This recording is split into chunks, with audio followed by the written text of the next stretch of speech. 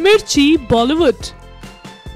Student of the year two की तैयारी जोरों से चल रही है। करण जौहर ने जब से film student of the year two की अनाउंसमेंट की है, तब से फैंस इसका बेसब्री से इंतज़ार कर रहे हैं। फ़िल्म में टाइगर श्रॉफ लीड रोल में है।